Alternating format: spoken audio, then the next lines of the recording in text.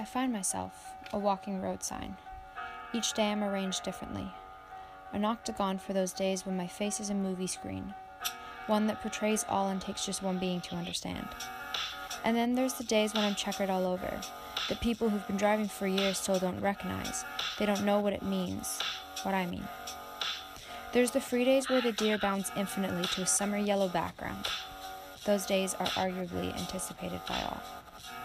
The days where an inverted triangle means both stay and leave, where the position is subjective and others aren't quite sure.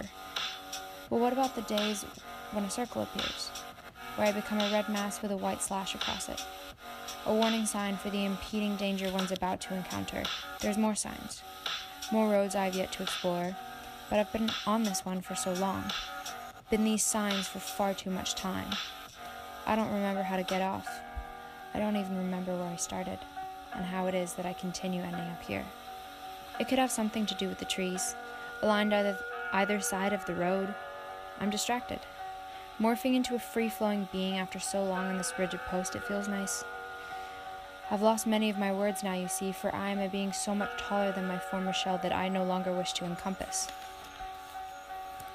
I want my time using the sun to feed me and my soul, to share my wealth with the smallest in the forest, and to show my gratitude to the beaming one above. And then, when the time comes to change once more, let it take me past the forest to the streams between mountains.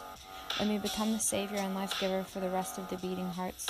For them, I'd happily give up the strict form of a constructed warning tool. Let me please become some matter that dances and that floats on the currents in the air between canyons. Where I will go beyond that, I'm not sure. But I'm willing to leave behind what I've got. I always am. For change and me make a beautiful team one that doesn't halt and does not mold or fit, and one that simply can't be persuaded to be anything but to be anything but everything.